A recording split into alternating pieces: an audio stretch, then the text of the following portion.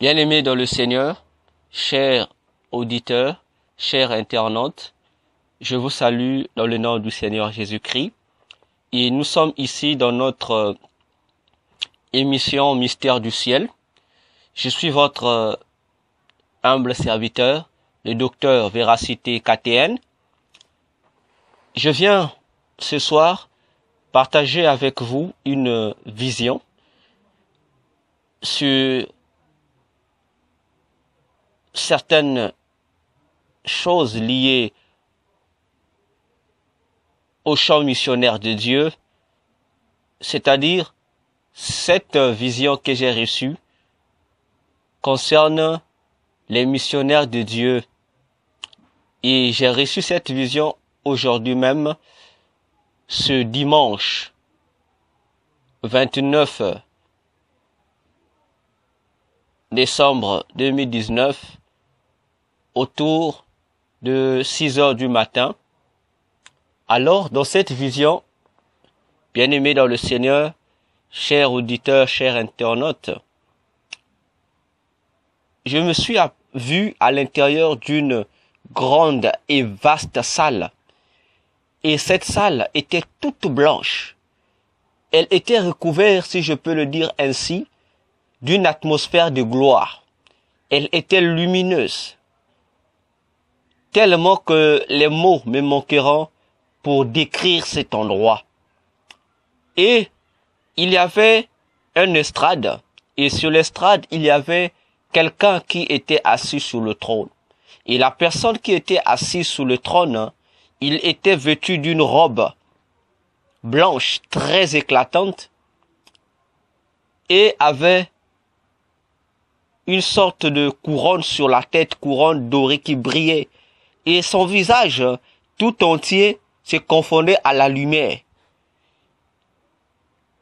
Et à côté de lui, il y avait des anges et derrière lui, il y avait également des anges qui avaient des sortes de registres qui prenaient note. Alors, pendant que je fixais, je contemplais ce qui se passait, je vais donc remarquer que il y aura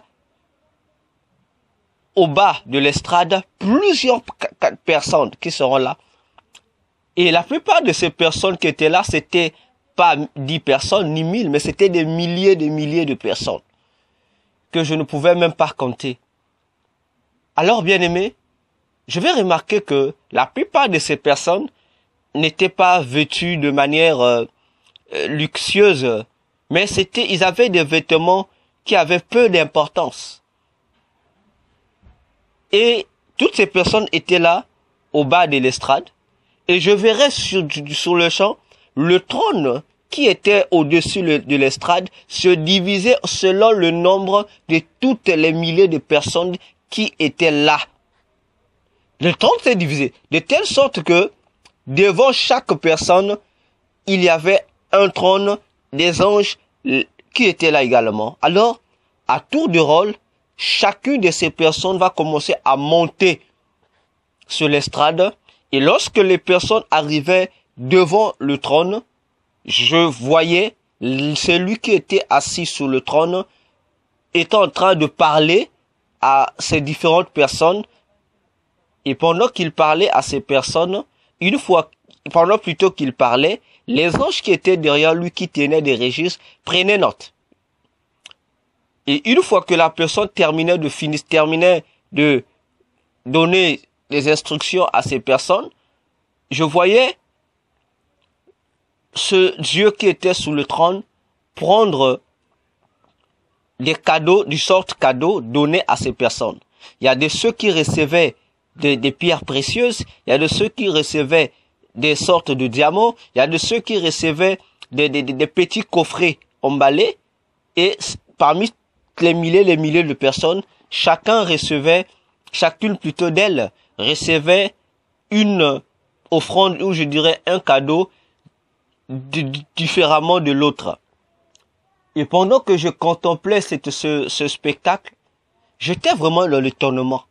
Je me suis dit, mais comment se fait-il que ce soit des gens qui ont peu de valeur, des gens que nous minimisons dans la société, des gens démunis, qui puissent arriver là, se mettre devant le trône de Dieu et recevoir des instructions de la part de Dieu et après des instructions, recevoir des sortes de cadeaux des dons. Alors, pendant que je réfléchissais de la sorte, je verrais devant un trône, il y avait un ange qui était derrière, qui avait des registres qui prenaient note. Cet ange va voler de là où il était pour se retrouver au bas de l'estrade, juste là où j'étais. Et cet ange s'est automatiquement mis à ma gauche. Pendant que cet ange se met à ma gauche, il me dit, regarde, tu es en train de contempler, c'est merveilleux. J'ai dit répondu que oui, oui, c'est merveilleux, mais je ne comprends pas ce c'est ce qui se passe. Au fond, au fond de mon cœur, bien aimé, je me disais que ça pouvait être peut-être le, jour du jugement dernier ou jour où Dieu était en train de récompenser les gens. Malheureusement, l'ange qui était là me répondit que ce que je voyais, il me dit que plutôt en m'expliquant, il dit, lorsque Dieu donne un songe, un rêve ou un message à une personne, pendant qu'il remet cela à une personne, Dieu se réserve également d'autres personnes comme doublure, de telle sorte que si les personnes concernées n'accomplissent pas l'œuvre pour laquelle il fut commissionné par le Seigneur, ce sont ces doublures-là qui vont faire le travail à leur place. Et si les doublures réussissent la mission à leur place, la récompense lié à ce, cette mission ne sera pas donné aux personnes concernées, mais à la doublure. Et pendant que l'ange m'expliquait cela, j'ai compris que toutes ces milliers de personnes que je voyais là étaient des doublures, des gens qui étaient choisis et réservés pour des missions spécifiques au cas où les véritables missionnaires échouaient ou rataient à, à ces missions, eux devraient prendre la relève pour accomplir l'œuvre du Seigneur. Et cet ange va prendre donc le registre qu'il avait, il va me montrer le registre. Du côté droit du registre, j'ai vu un nom. C'était vraiment un registre sous forme d'affiche, de, plutôt de fiche de renseignement. J'ai vu la photo de la personne qui était là. À droite, c'était un homme et son nom était Antoine. Et au bas de l'affiche, il y avait des, des éléments qui étaient contenus. Et à gauche, j'ai vu un nom qui était écrit Schweiz, c'est-à-dire S-C-H-E-I-Z. Et c'était également un homme. Alors, dès que l'ange me montre, j'ai lu les noms des personnes, et l'ange a refermé le registre et, et a, a volé de nouveau pour retrouver sa place derrière l'une des, des, trônes. Bien aimé dans le Seigneur, je suis resté là seul, continuant à voir l'événement qui se passait devant moi, tellement que c'était avait une gloire. J'étais vraiment émotionné, bien aimé. J'étais vraiment dans une forte émotion et j'avais des larmes qui me coulaient aux yeux. J'avais vraiment envie de pleurer. Je ne sais pas pourquoi pleurer, mais parce que ce que je voyais était inimaginable. De voir des hommes, de voir des femmes méprisées dans nos sociétés, méprisées même dans nos églises, puissent être des gens-là que Dieu considère comme sa réserve pour son œuvre, pour la, la relève des ministères qui ont échoué. Voyez, c'était quelque chose qui, qui, qui dépassait mon entendement. Alors, subitement, je verrai une porte va s'ouvrir à ma droite, de loin, je vais apercevoir une porte s'ouvrir, et je verrai entrer par cette porte deux serviteurs de Dieu. Il y aura une servante de Dieu de notre église, l'évangéliste Marie-France Tchakaka, qui rentrera. Elle s'était habillée d'une robe très blanche, éclatante, et elle avait sur la, tête une couronne blanche également, et elle avait entre la hanche, plutôt entre le, le, thorax et la planche, et la hanche, elle avait un ruban, mais qui était un linge tout blanc, éclatant. Et il était accompagné de, du pasteur Alain Gombe. Et le pasteur Alain Gombe, du ministère euh, euh, Église, ministère de la réconciliation qui se trouve à Brazzaville. Et le pasteur Alain Gombe était vêtu tout en, en veste toute blanche et il avait autour du cou une sorte de de, de, de, de, collier, mais c'était pas un collier, mais c'était une, gloire. Donc un collier sous la forme d'une gloire, d'une grande lumière. Et les deux étaient en train de transporter une cuvette en or. Et à l'intérieur de la cuvette en or, il y avait, il y avait de l'eau. Et de l'eau de couleur bleue. Et ils étaient en train de s'approcher. Dès que j'étais en train de le garder, jusqu'à ce que nous sommes arrivés, ils sont arrivés à entre un ou deux mètres de moi, de là où j'étais. L'évangile Marie-France me dire, docteur, tourne-toi, telle sorte que tu sois en face de nous. Et c'est ce que je fis. Et une fois que je me suis retourné, elle enleva le linge qu'elle avait sur elle, et elle vient, elle me dit, reçois l'autorité. Elle vient poser le linge, elle vient me bonder le linge au niveau de la tête, elle bonde le linge, elle me répète un rôle, dit, reçois l'autorité. Je nous pose, je dis l'évangéliste Marie-France, l'autorité de quoi? Par rapport à quoi? Elle me dit, tu comprendras plus tard. Et une fois qu'elle termine, elle retrouve sa place. Et c'est le pasteur Alain Gombe qui va donc se rapprocher, qui va enlever son collier, euh, son collier de gloire, et va me dire, agenouille-toi. Je vais m'agenouiller, et il va poser le collier sur ma tête, et il va y mettre sa main, et il va inviter l'évangéliste Marie-France à étendre également sa main, et les deux vont commencer à prier pour moi. Il priait et déclarait plusieurs paroles, mais moi, je ne coûtais que le reflet du mot autorité, autorité, autorité, autorité.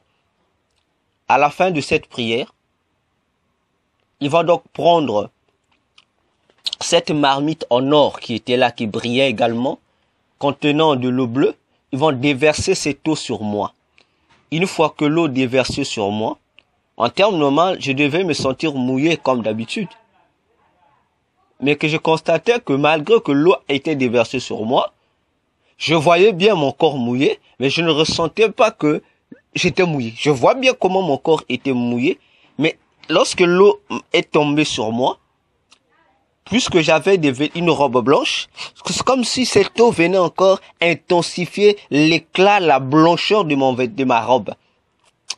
Une fois que cette eau déversée sur moi, et les deux serviteurs de Dieu, l'évangéliste Marie-France Yakaka et le pasteur Alain Gombe, vont donc retourner pour repartir.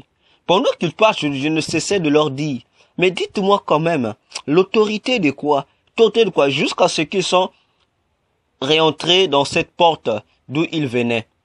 Alors, bien aimé, dès que je tournais mon visage pour continuer le, le voir, le spectacle qui se déroulait devant moi, je constate qu'il n'y avait plus personne. Donc, toutes ces milliers de milliers de personnes qui s'étaient là n'étaient plus. Et au lieu d'avoir plusieurs trônes, il n'y avait qu'un seul trône, le trône du départ. je vais voir Dieu, le Seigneur Jésus-Christ sur ce trône, qui va m'appeler. Et pendant que le Seigneur va m'appeler, il me dira, viens, puisque tu as reçu l'autorité, approche. Bien aimé, j'étais dans l'émotion de comprendre où sont parties toutes ces personnes et que, que, que m'attendait-il après cela. Et ce geste, le ruban que je venais, le linge que je venais de recevoir et qui fut bondé sur ma tête comme autorité, l'eau qui fut déversée sur moi et le collet de gloire qui fut imposé sur ma tête et la prière faite par la servante de Dieu Marie-France et le pasteur Alain Gombe. Je voulais comprendre sa signification. Alors, Dieu sur le trône me dit, viens. Bien aimé, j'ai eu des hésitations à marcher. J'étais dans l'émotion.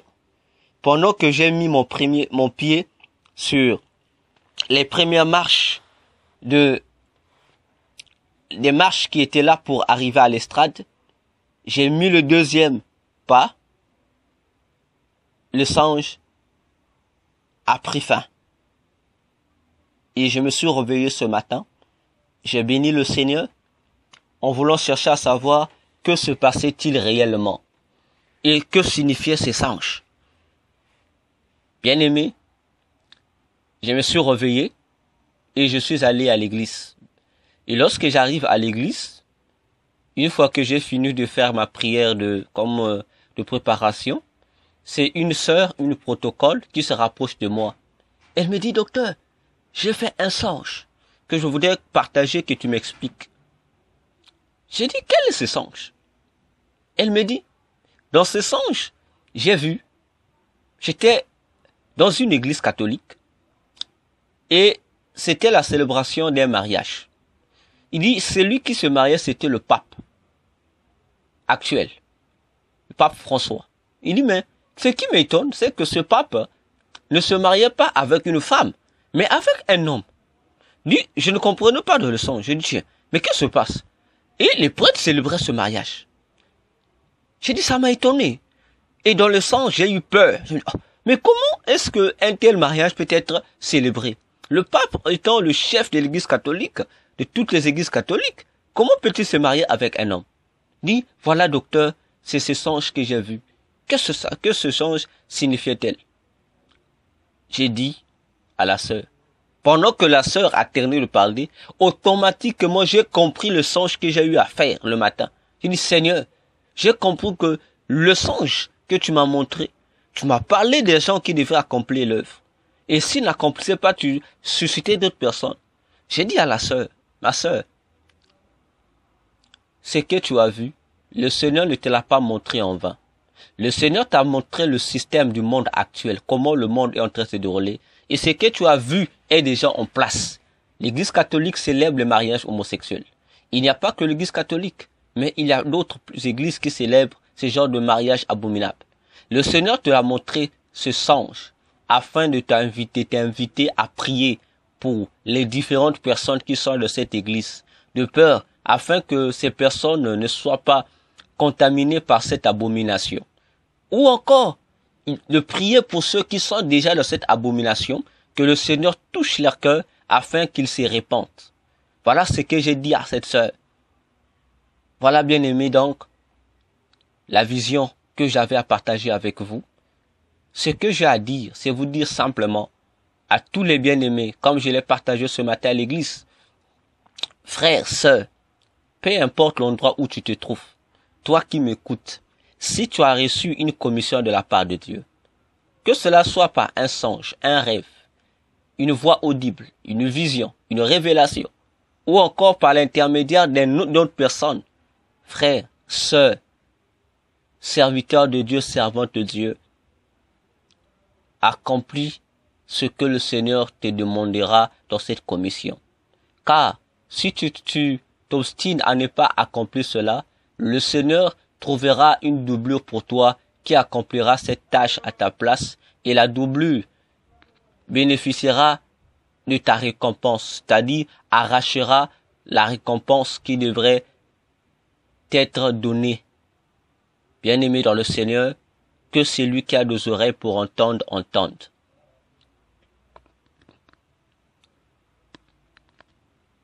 Voilà, je fais ma part, je vous ai communiqué la vision à vous les missionnaires de Dieu, à vous donc de prendre garde, d'accomplir ce que le Seigneur attend de vous. Que Dieu vous bénisse.